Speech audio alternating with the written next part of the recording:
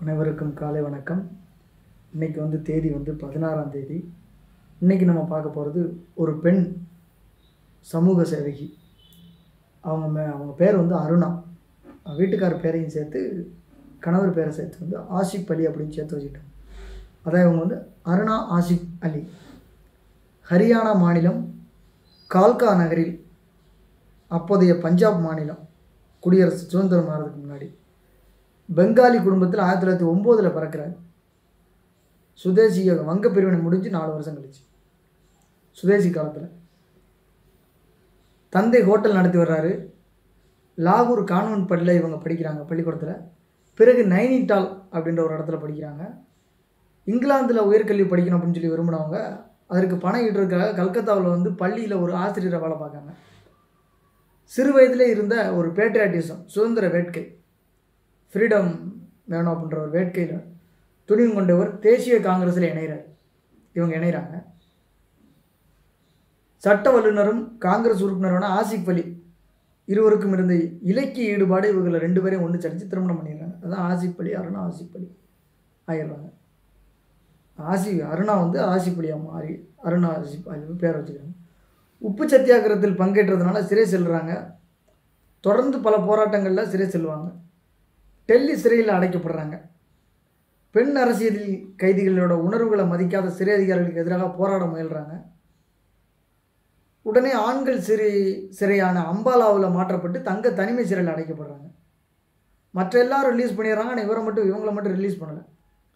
இதை கண்டித்து மற்ற பெண்களும் வெளியேறாமல் போராட்டம் நடத்தினாங்க ஒரு கட்டத்தில் வந்து மகாத்மா காந்தி அப்போ தலையிட்டு இவங்களை வந்து வெளியில் விடுதலை பண்ணுறதுக்கு ஏற்பாடு பண்ணுறாரு விடுதலை பண்ணிடுறாங்க.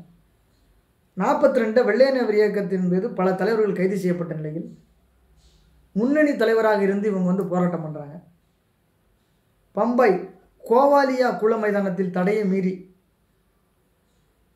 காங்கிரஸ் கொடியை ஏற்றுறாங்க காங்கிரஸ் கொடியை ஏற்றோன்னா இதற்காக கைது செய்யப்பட்டு இதற்காக கைது செய்யப்பட்டு சிறையில் அடைக்கப்படுறாங்க. தொடர்ந்து பல போராட்டங்களில் ஒரு முறை இவரை ஈடுபடுறாங்க. ஒரு முறை இவர் என்ன பண்ணுறாங்க ரொக்க பரிசு கூட கொடுத்து இவர் இவரை பிடிச்சி கொடுத்தீங்கன்னா இல்லை காட்டி கொடுத்தா வந்து இவ்வளோ பரிசு தரேன்னு சொல்லி கவர்மெண்ட் அனௌன்ஸ் பண்ணி பார்த்துச்சு. ஆனால் முடியலை. நாடு சுதந்திரம் பிறகு சுதந்திரம் அடைந்த பிறகு காங்கிரஸிலிருந்து வெளியேறி சோசியலிச இயக்கங்களில் இணைகிறாங்க சோசியலிச இயக்கங்களில் இணைஞ்ச பிறகு சமூக சேவைகளில் ஈடுபடுறாங்க. நலிவுற்ற பெண்கள். மாணவர்கள் நலனுக்காக பாடுபடுறாங்க. மாணவர்கள் தான் நாட்டின் எதிர்காலம் அப்படின்னு சொல்லி அன்பு அப்துல் கலாம் சொன்ன மாதிரி இவங்களும் சொல்கிறாங்க டெல்லியின் முதல் மேயர் நம்ம நேஷனல் கேபிட்டல் ரீஜன் டெல்லி வந்து மூன்று பகுதி நியூ டெல்லி டெல்லி அதுக்கடுத்து என்சிஆர் நேஷனல் கேபிட்டல் ரீஜியன் அப்படி மூணு பகுதி இருக்கும். அதில் வந்து டெல்லியின் முதல் மேயராக ஆயிரத்தி தொள்ளாயிரத்தி ஐம்பத்தெட்டில் நியமனம் பண்ணுறாங்க நியமனம் செய்யப்படுறாங்க. அப்போது வந்து நகரின் சுத்தம் சுகாதாரம் வளர்ச்சிக்கு வந்து பாடுபடுறாங்க. சுத்தம் சானிடேஷன் சுகாதாரம் ஹெல்த்து வளர்ச்சி குரோத்து எல்லாம் செயல்படுறாங்க டெவலப்மெண்ட்டு பல திட்டங்களை தீட்டி செயல்படுத்துகிறாங்க மாநகரின் நிர்வாகத்தில் வந்து பல சீர்திருத்தங்களை கொண்டு வர்றாங்க. பொருளாதாரம் ஜாதி மற்றும் ஆண் பெண் பாகுபாடுகளை போக்க முனைப்புடன் வேலை செய்கிறாங்க ஏழைகள் மற்றும் ஒடுக்கப்பட்ட ஒடுக்கப்பட்டவர் ஒடுக்கப்பட்டவர் நலனுக்காக குடிசை பகுதிகளுக்கு சென்று பணியாற்றிருக்காங்க. அங்கேயே போய் வேலை பார்த்துருக்காங்க.